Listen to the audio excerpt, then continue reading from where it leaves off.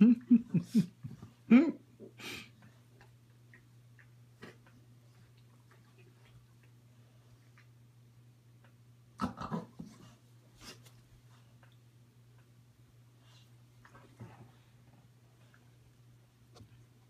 you're being so good to the puppy.